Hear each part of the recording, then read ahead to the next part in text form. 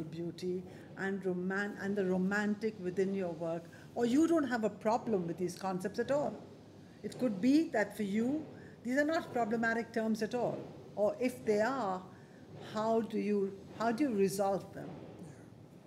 I think they are problematic in the sense that historically they have become, and periodically they will become problematic because, as I said, the idea of the artist as a professional, when that takes over from the idea of the artist as an outsider, society has made kind of adjustments, you know, and at various various societies made these adjustments in various ways, you know. But the need for the artist to be outside society and a critic of society from the outside and suffer for it, you know, was something that has uh, kind of been with us for forever, I think, you know. And this professionalism, as one says, today's professionalism. For example, it's like when you remove the tragic, what can one say? For example, I mean, I'll give you a very kind of concrete kind of thing. Art doesn't, sorry, the audience for art is limited. And from Paul Klee, everyone hoped that this audience would grow, that something that the artist is doing, that it should reach people.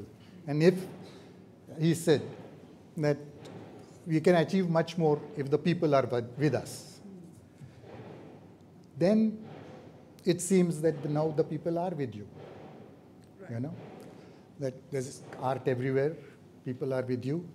What have you lost then? Is this what you wanted?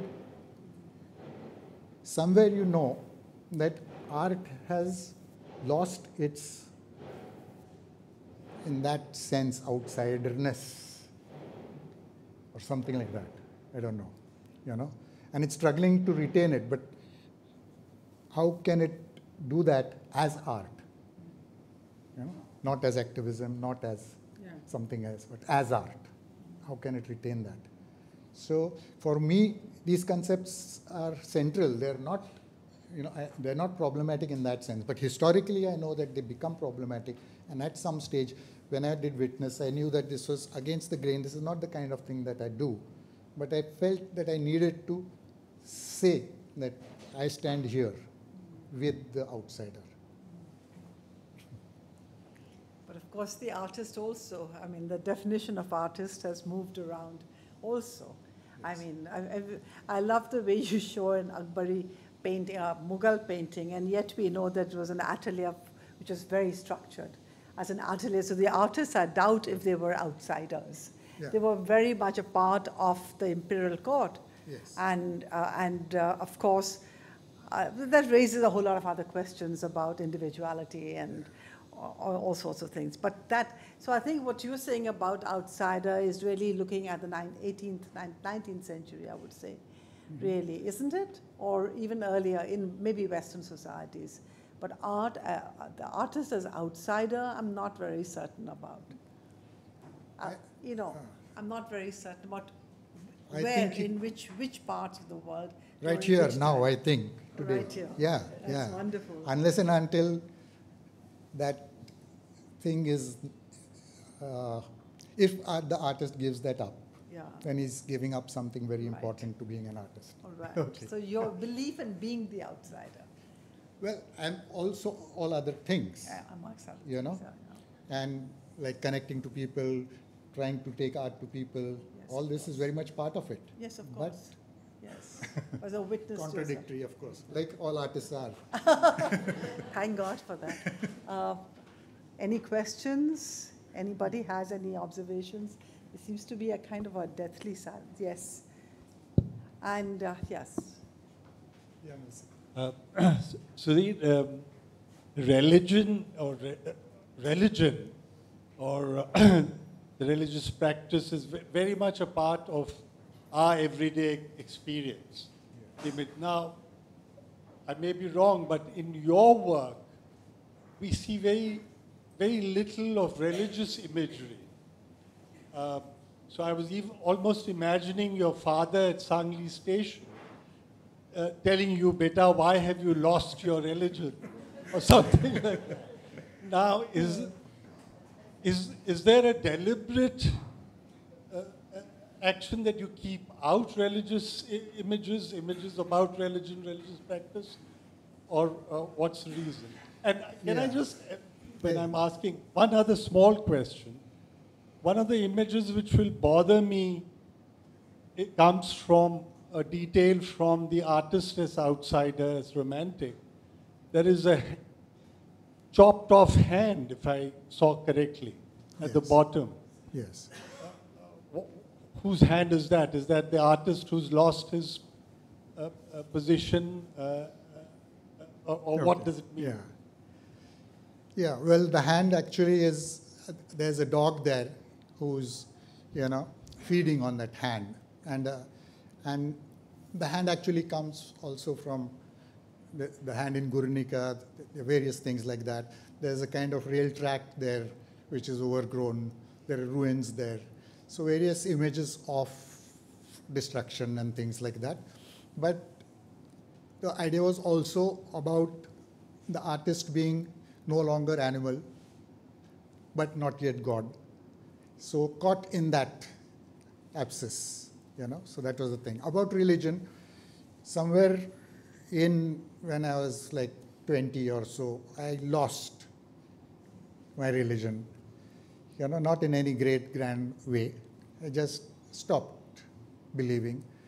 Till then, I, I was uh, very strong in that sense, strong in a sense, in a normal way, believer. And I've never been able to identify with it. I'm sympathetic to anyone else who has it, you know, but it's not there for me. So there's nothing much I can do about that. And I wouldn't want to bring it into my work as a comment on others, you know, good or bad. Uh, At the back. Yeah. Hi. Um, so it was interesting to see your process work. I was just curious about the scale of these paintings.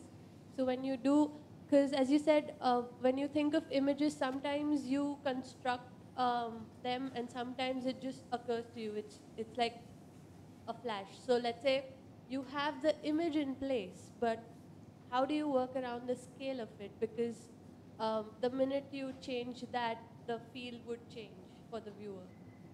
Yeah, you're quite right. But then when they do come to you in a flash, uh, I think they also come in a certain size, you know, and that's to do with that's to do more with uh, the way in which uh, I relate to bodies. So it has to be near life size, but never uh, very rarely, and actually never larger than life size, because I identify with one statement that uh, Lucian Freud made that life size is mean. You know, to paint something life size is mean. Paint it a little smaller. So anyway, so they come like that, and uh, the others uh, scales are like they are. I mean, some of the larger ones are eight feet, six feet, and the smaller ones are four, three. The ones that are, as the last ones that I showed you, were about three, three and a half, four. That's the kind of range. None of them are very large. None of them quite very small. Other than the heads that we saw right at the beginning, which are of course, again, just short of life size. yeah. Just please wait, Could you speak into it so they can hear the back? Yeah. Whether the paintings you've shown today, are they um, in uh, the National Museum, are they in private collections, are they with you? Um, I'll repeat. So the question is, she wants to know where the paintings are, in what holdings, national or private, national museums or private? That's the question, right? Yeah, yeah. Some of them are in public museums. Many of them are in private collections. Not many that I've shown are with me, but they are still with galleries and things like that. Yeah. Any others? Yes.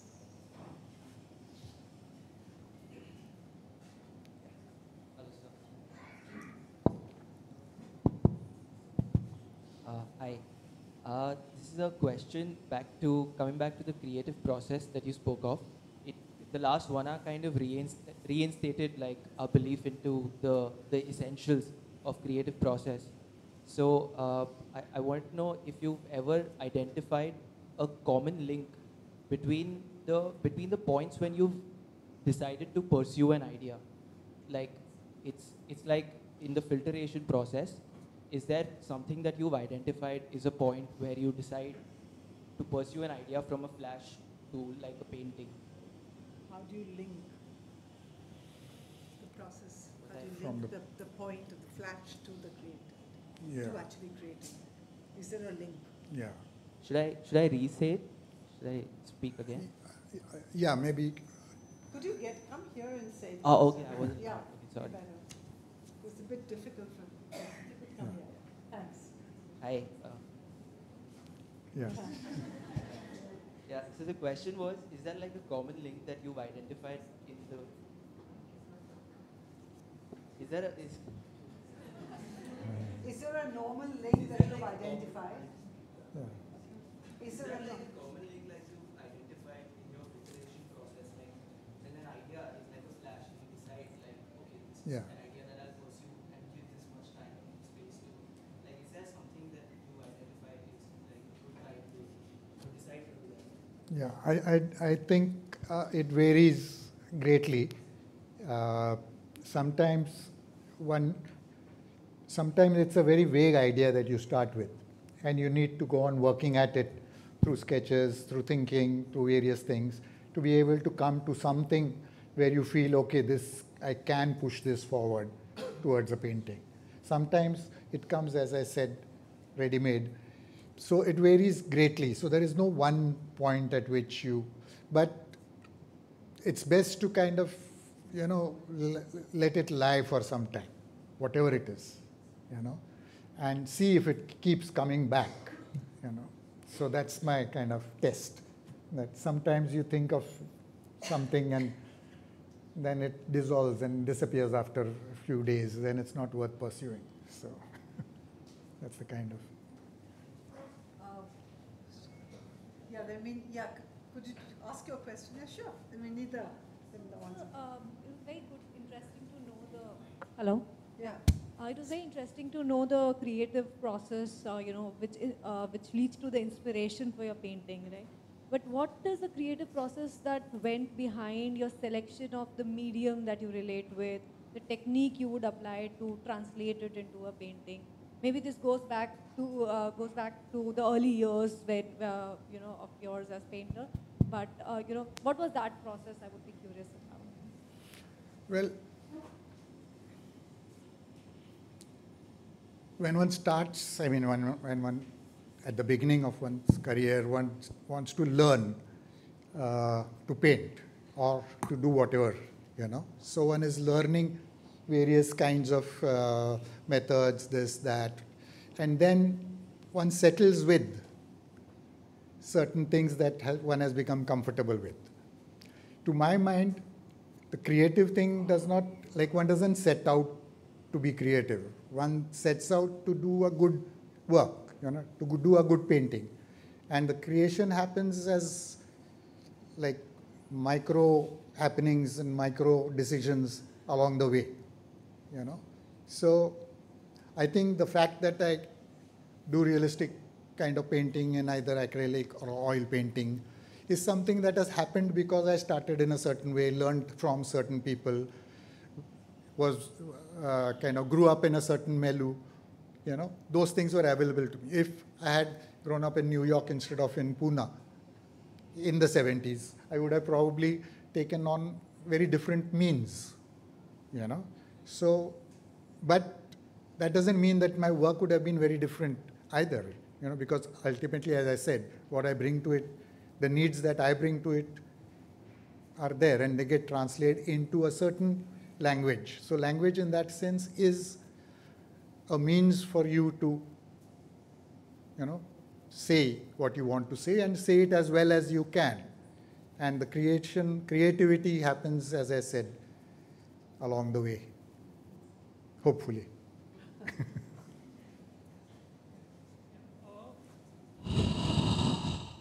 Uh, or, or what do you do? Or what do you do when you get an idea but you realize it's already been done before? When you spend a lot of time on getting an idea or getting a painting done, and then you realize it's already been done. Like like about the, the painting about Lady Place, you realize that that already been done before. So in those cases, what do you do for